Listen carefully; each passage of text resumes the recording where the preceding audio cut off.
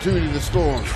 Tough pass for Winslow to guard LeBron Tides. Kevin Love sold it and hit it for three. Well, it's a tough time for White. Round for 23.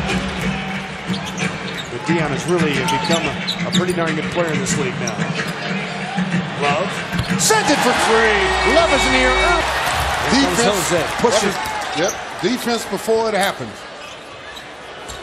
Kevin Love puts it on the deck against Whiteside. Created space and hit it. He's creating a nightmare for Hassan away from trouble.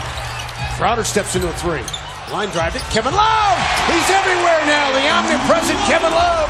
How about that? I I think so because that's what the Cavaliers needed really going into the season is a bench. And Love is definitely on fire. Season. We had 34 in the first quarter against Portland a year ago. LeBron with an easy steal. The trailer is Love. Oh, he is oh, going to pop a shot on him from the floor. Three of four from deep.